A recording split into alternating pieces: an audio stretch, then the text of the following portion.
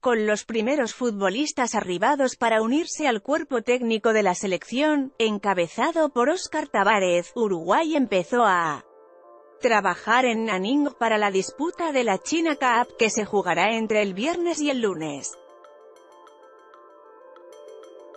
La Celeste, vigente campeona de este torneo, ganó la edición del año pasado al derrotar a República Checa y a Gales, enfrentará a Uzbekistán el viernes a las 8,35 hora uruguaya, en el estadio Guanaxi Sports Center.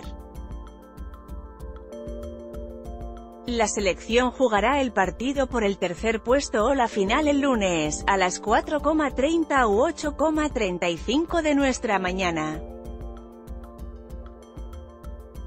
El otro cruce lo protagonizarán el local, China, y Tailandia. Martín Silva, Nicolás Lodeiro y Lucas Torreira fueron los primeros jugadores en llegar a China. Gastón Pereiro, Diego Laxalt, Matías Vecino, Martín Cáceres, Rodrigo Bentancur y Sebastián Coate se sumaron a ellos. Tres después para el primer entrenamiento, que se llevó a cabo en nuestra madrugada de hoy.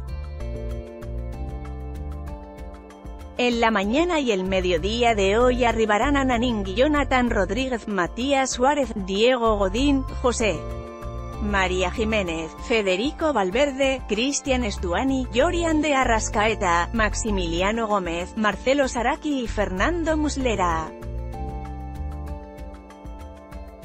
Luego se sumarán los futbolistas que completarán la nómina de 22 convocados, Martín Campaña, Najita Nández y Giovanni González.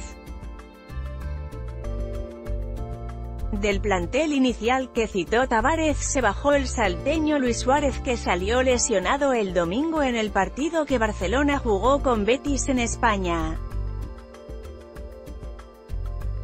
Según comunicaron su club y la sanidad de la Asociación Uruguaya de Fútbol, el goleador sufrió un esguince de tobillo.